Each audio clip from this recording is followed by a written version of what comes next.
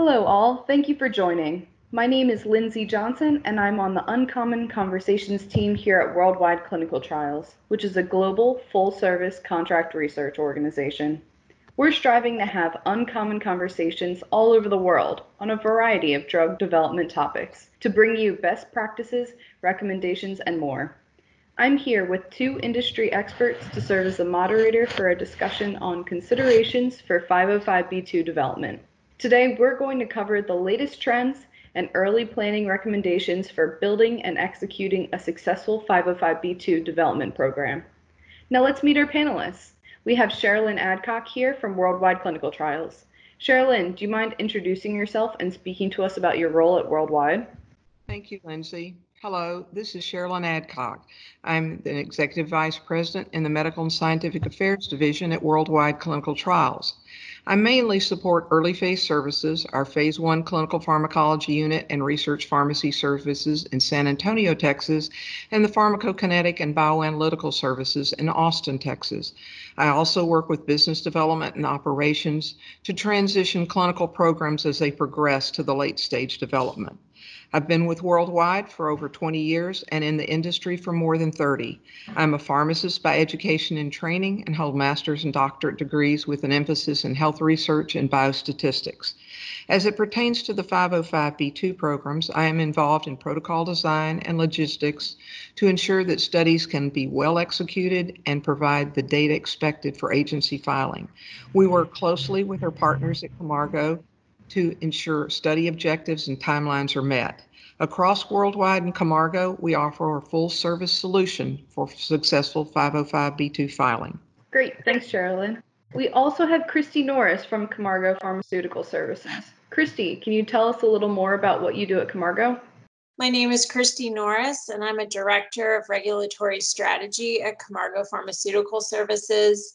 I came to Camargo with a background in academic science. Um, specifically, I have a PhD in biochemistry and molecular genetics and did a postdoc at Duke in the pharmacology and cancer biology department. I joined Camargo a little over seven and a half years ago and in that time, I have partnered with a variety of sponsors to provide strategy, regulatory advice, and development solutions, particularly pertaining to the 505b2 pathway. At Camargo, we specialize in complex development programs like 505b2, those programs that require a customized or nuanced approach to regulatory and development strategy. At my time at Camargo, I have worked with various companies to build successful 505b2 development programs. I've represented sponsors in more than 40 FDA interactions across 10 different divisions of the CDER side of FDA. Thank you both for joining us today. Now we're just going to start right in with our first question. Can you begin by giving me a quick overview of what the 505b2 regulatory pathway is? How similar or different from other pathways is it? And has their popularity grown? Yes, so 505b2 is a hybrid pathway that falls in between the most likely more familiar pathways to the listeners of this webinar 505b1 and 505j or generic development. So 505b1 pathway focuses mainly on new chemical or new molecular entities. These are novel compounds.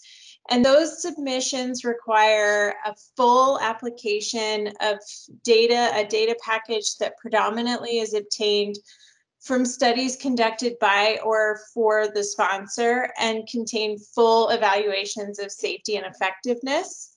The 505J or the generic product pathway is for products that are the same as other products that are already approved and involves demonstration of that similarity through a bioequivalence program. The 505B2 pathway falls in between in that it still requires full safety and effectiveness in the NDA package, but the source of the data for the safety and effectiveness can be derived from a variety of sources, including other approved products, so listed drugs, or published information in clinical or non clinical literature. 505b2 drugs can be repurposed drugs, reformulations, or previously unapproved products that have been marketed. However, new chemical entities and new molecular entities can and have been approved under the 505b2 pathway as well. Speaking to the popularity of the pathway, 505b2 approvals have steadily increased over the past couple of decades. And even in the time that I've been with Camargo for the last seven years, they've increased pretty substantially. And today they make up more than half of all the NDA new drug approvals at FDA. And as Christy mentioned, 505b2 is really a hybrid, some characteristics of an NDA, others of an ANDA, and as such has some unique characteristics of its own. And the requirements may vary depending on the compound under study and its known history a product being developed and hopefully approved via the 505b2 pathway is not simply a generic version of a previously approved drug. It may be for a different indication or indications, new population not included in the labeling of the reference product, or it may be a new and improved formulation for a current patient population, such as a longer acting once a day dose to improve patient compliance or offer a more favorable adverse event profile. Now, preclinical data, as Christy mentioned, single ascending dose, multiple ascending dose type studies conducted by the original NDA holder may be used to support the 505b2 application. If indeed there's reference product data available, it may be used by the sponsor of the 505b2 eligible product, and they will need to build a case for the comparison via a paper only or through clinical trials. Again, the requirements may vary from compound to compound. Therefore, this pathway offers an excellent option, saving time and resources for those manufacturers with a not entirely new molecular entity that offers a new indication, new dose form, a dosing regimen, strength, or a new combination with other compounds or even a device. My next question is how common are 505b2 NDA approvals? How has the 505b2 development landscape changed in the past 5 to 10 years from both a regulatory strategy and study conduct perspective? Since 2017, Worldwide Early Phase has had over 200 505b2 designated opportunities enter the proposal feasibility review process. They have ranged from agency mandated preclinical bioanalytical work only to full clinical programs and everything in between. This represents a significant increase in interest in this approval approach over the past decade. Today, approximately 30% of our early phase work is for a 505b2 filing. Of particular note is that more generic companies that traditionally only pursued ANDA filings began showing an increased interest in the 505b2 approach after the generic patent cliff in around 2014. Also, drug manufacturers with a unique delivery platform began looking at ways to apply these innovative delivery systems to older drug products and obtain approval via the 505b2 pathway.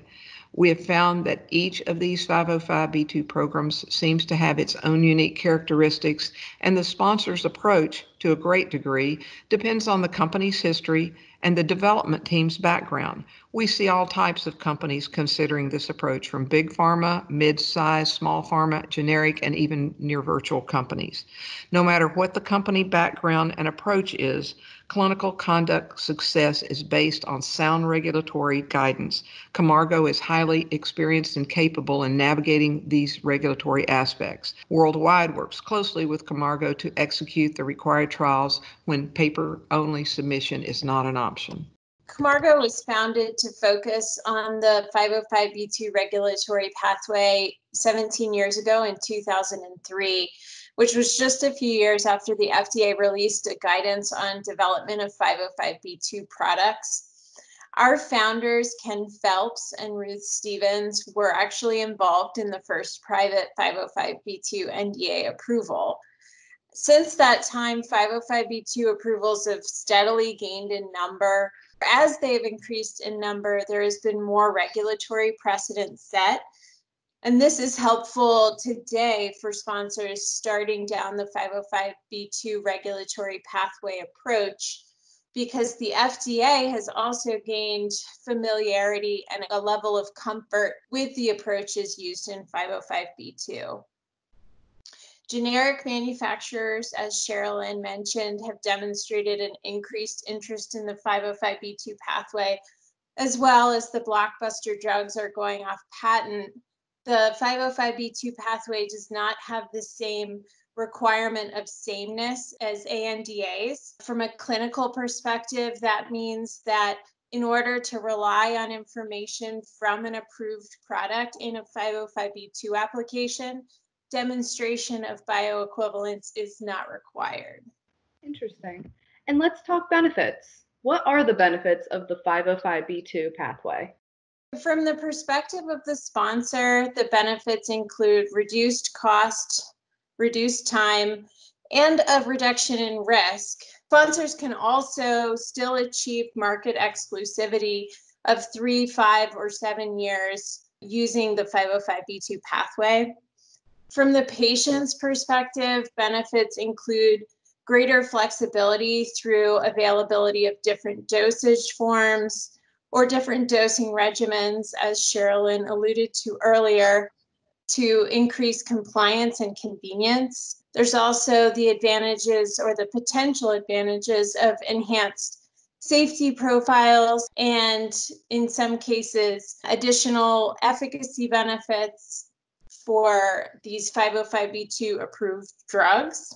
We have several examples that I can reference from the years that I've worked at Camargo related to sponsor and patient benefits of products approved under the 505b2 pathway. For instance, we've worked on several paper only NDAs, which means that the sponsor did not conduct any non clinical or clinical studies but used only available information in their NDA application for approval. These drugs that were approved as paper only NDAs had a long history of clinical use, but the products that were being used had no formal FDA approval. By gaining approval for these products, sponsors were able to provide information in the approved product labeling to help inform physicians on areas such as dosing and treatment duration and provide a regulated product for both safe and effective treatment of the patient population. In addition to the paper only NDA examples, we've also had sponsors that anticipated very large development programs more comparable to a 505b1 when they were initially interacting with the team at Camargo. However, through our experience and nuanced approach to 505b2, we've been able to help sponsors lay out innovative strategies to get more streamlined programs, often PK only programs, to save the sponsor significant time and development costs, and also allow the product to reach the patients faster. In our experience with FDA, they are open to innovative approaches under 505b2, and they're willing to collaborate with sponsors, especially when it means getting a better treatment with proven safety and efficacy to the right patients faster. Clearly, one of the biggest benefits for our clients is the clinical studies and safety efficacy clinical testing. It may take a good deal of time and effort to complete the literature searches and compile the information, but this far outweighs the cost and time to repeat studies when the agency will allow this historical data to support your 505b2 submission. In some cases, historical non US generated data may be utilized to support the 505b2 filing. And there is the benefit of relatively low risk of failure due to the previous drug approval, with the caveat caveats being that your formulation behaves as expected and the agency recommendations from the pre-IND meeting are followed and appropriately documented and presented in the submission. Christy has mentioned the potential for market exclusivity, thus alleviating competitive forces. Finally, with respect to benefits, there are several types of products that might benefit from the 505b2 pathway. These include branded generics, DESI drugs, prodrugs, the prodrugs we have seen more and more in the recent years, orphan drugs, and drug device combinations. If a sponsor does choose the 505b2 pathway, what key recommendations do you find yourself repeating to sponsors when they come to you for regulatory help? At Camargo, we highly encourage early and frequent communication with FDA. And by early, I mean starting with the pre IND meeting. A successful pre IND meeting, as defined by Camargo, is that the sponsor leaves the meeting or the interaction with the FDA with a clear path forward. At Camargo, we take a unique approach to pre INDs because of the nuances and the flexibility of the 505b2 program, we focus on outlining the whole program and include detailed discussion with the agency on the sources of information to support the NDA application as well as the bridging strategy, which is critical to establish reliance on those various sources of information. We take into account the final labeling and both the commercial and marketing goals of the sponsor to strike a balance between product differentiation and speed to market to provide 505b2 approved products that are valuable in the marketplace to both physicians and patients. And what kind of timelines are we looking at for the 505b2 pathway? How does the sponsor plan and evaluate the full program scope to avoid pitfalls? So, really, you begin by building off that successful pre IND meeting where you have a path forward to approval. As we have discussed earlier, there is a spectrum of 505b2s from the paper only, where no clinical or non clinical studies are conducted by the sponsor, to programs that look more like generic development and are phase one only and might just include comparative bioavailability or bioequivalence studies to a listed drug. There's also programs that might have either a large non clinical and small clinical component or vice versa. All the way up to programs that are more similar in both size and scope to a new chemical entity slash 505b1 type program that might involve multiple randomized controlled trials. So, along with the spectrum of information that might be required for the sponsor to put together, there is also a spectrum in terms of timing. A paper only program might just involve a single FDA meeting as a pre-IND, but focused more like a pre-NDA meeting. There's additional time to gather the information and submit, as well as the PDUFA timelines. But you're looking at much faster, you know, year, two years to market versus the programs where clinical is required. And then you're looking at longer, but still truncated compared to the typical 505b1 development pathway. Worldwide Early Phase Services provides the design expertise and the execution for those 505b2 programs that fall into the phase one category pharmacokinetics, safety, tolerability, bioequivalence type comparisons. It is advisable to start early, as Christy has indicated, once the initial regulatory strategy discussions that have established that a paper only approach is not an option. Have a plan and good understanding of who your potential partners will be early in the process and seek their advice from their past experience. When we've been asked by potential sponsors what is most important to them, the response we most often hear is a bioanalytical lab that has experience with the compound and a clinical pharmacology unit that has experience with the drug or similar compounds in the class. This is especially true if the compound has a challenging adverse event profile. Bioanalytical startup for the PK analysis can take four to eight weeks depending on the need for method validation in a suitable range and that should be completed in advance of the first dose date in the clinic. Clinical startup can be in the four to six week range once study designs are established and protocols are finalized.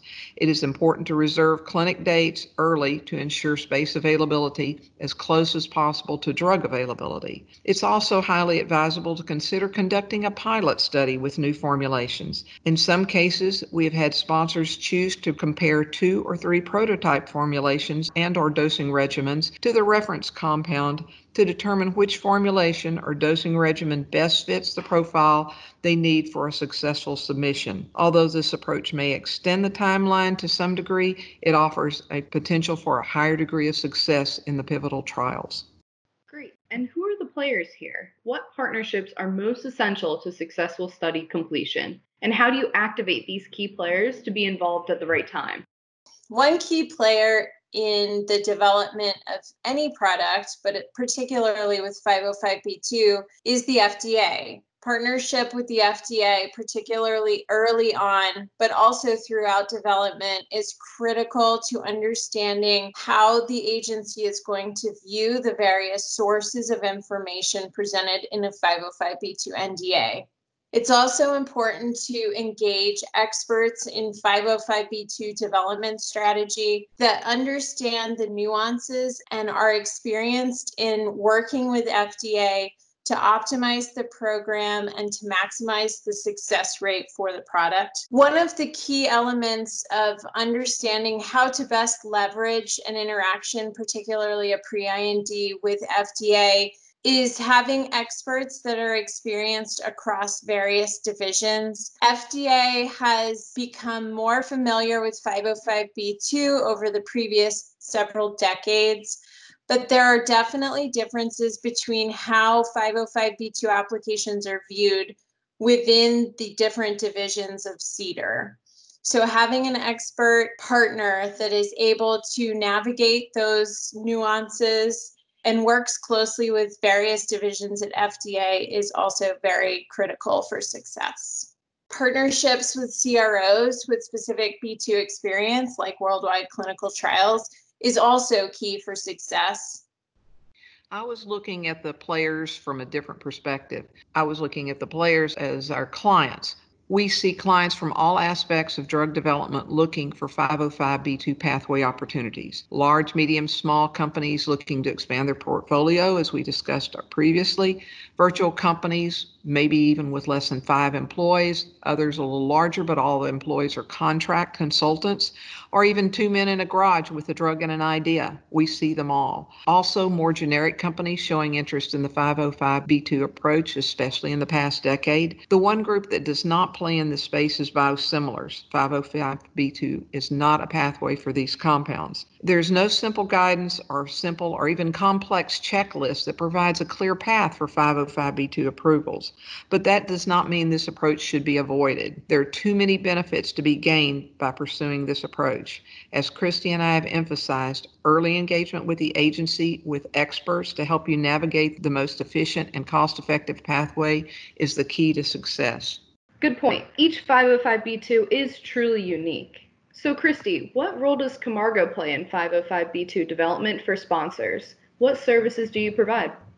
Camargo provides end to end strategic and regulatory solutions to support sponsors, all the way from early development through approval or commercialization. The types of projects that we work on with sponsors spans the gamut from candidate assessment or feasibility from a scientific, regulatory, medical, or commercial standpoint through pre IND and other FDA meetings and interactions. We also support sponsors with their applications, including INDs and NDAs, as well as various aspects of non clinical, clinical, and CMC support throughout the timeline of drug development. And Sherilyn, what are the tools that Worldwide provides to clients when sponsors are looking to transition from regulatory planning to clinical study conduct? How do Worldwide services help sponsors reduce anxiety and manage the unknowns? Three common concerns for any clinical trial are the need for quality data, meeting timelines, and cost. This is no different for the 505b2 programs. The importance of high quality data that meets regulatory mandates is absolutely critical. Timely execution of the trial, efficient startup, no recruitment delays, on time database locker is equally as important. Cost is also a factor, but the best value does not always translate to the lowest cost. Clearly, all these are important considerations in clinical research, and the ranking of their importance of these factors depends on the stakeholder. Worldwide can offer aggressive, achievable timelines with respect to protocol writing, IRB approvals, study participant identification, screening, and enrollment. Worldwide can also offer a seamless package of clinical, bioanalytical, pharmacokinetic, and report services. Additionally, ClinSpark, an electronic data capture system utilized at the Clinical Pharmacology Unit in San Antonio, can offer real time review remotely of the clinical data and an expedited database lock when needed. Just as with all NDA projects, an experienced project manager is assigned to drive the project from startup to final deliverable. The Clinical Pharmacology Unit in San Antonio includes a state of the art diagnostic laboratory and can handle all routine clinical laboratory testing with rapid results turnaround time. There's also a full service pharmacy on site to manage routine drug accountability and dispensation, and also offers enhanced cGMP for phase one capability to assist with formulation development, such as suspensions or capsule filling, as well as planning and implementing specific dosing procedures as needed. Excellent. And for my last set of questions, if people want to find out more about the services Camargo can provide, what can they do? Lindsay, I would encourage them to visit our website, camargopharma.com, or to send us an email at services at camargopharma.com to schedule an introductory call with our commercial team. And if people want to find out more about the services Worldwide can provide, you can certainly get in touch with our experts to discuss how Worldwide can help with your 505b2 program needs or contact us through worldwide.com. Camargo and Worldwide offer a winning team of regulatory strategists and clinical and bioanalytical experts to support your efforts toward a successful 505b2 filing. Thank you, Christy, for joining our discussion, and thank you, Lindsay, for leading it. Of course. Thank you both for joining me today. And for those watching at home, what do you want to discuss next here at Uncommon Conversations in Drug Development Trends? Email me at lindsay.johnson at worldwide.com with topic suggestions.